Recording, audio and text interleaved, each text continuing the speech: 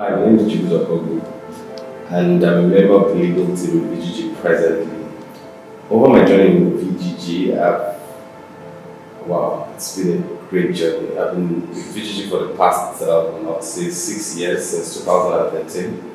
And I actually came in as an analyst. It had progressed through different ranks and then became a member of the legal team.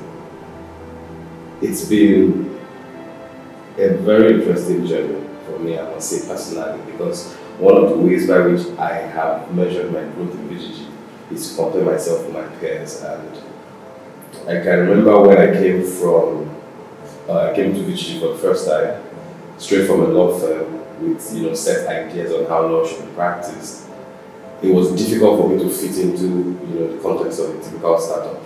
Funny thing is, VGG actually gave me a chance to make that happen and I think for the first few months, my involvement in actual legal work was actually limited compared to what I expected.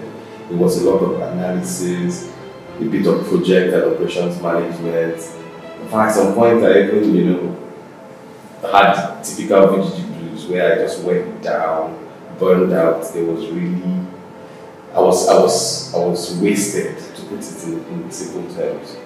But what it did for me over time is, I think after a year or thereabouts, after having discussions with my friends, I realized that man, I was way, way, way, way above them. With the exception of very few had the opportunity to work on, I'd say big and novel transactions.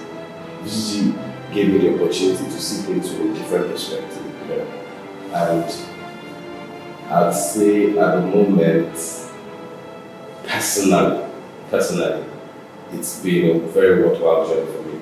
Sometime in 2016, I stepped out to attend to a number of personal things, and uh, funny thing is, I actually wanted to resign because it was more of you know a personal family project that I wanted to run.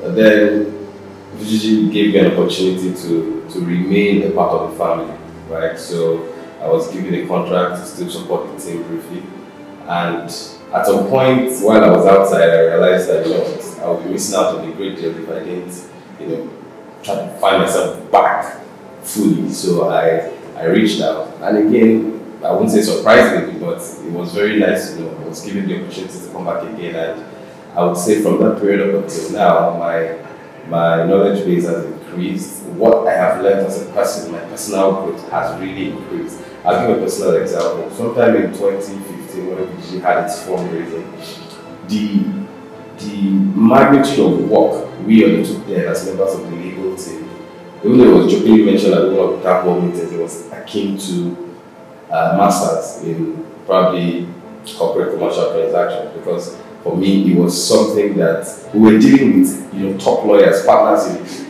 major firms, and we were just here, you know, trying to figure out how to go about it. No one had a template on how should run. We were just, you know, trying to figure it out day by day, and it was a very worthwhile experience. I can say for a fact that experience from that fundraising project has propelled me to certain heights today where I can tell you that I can stand toe to toe from a very modest perspective with you know most of the big players out there. Why? Because this opportunity given here has opened or uh, exposed me to a number of opportunities which frankly, with the exception of very, very, very few firms, no one can get in Nigeria. So for that I would say yeah, I enjoyed thoroughly listening for professional experience.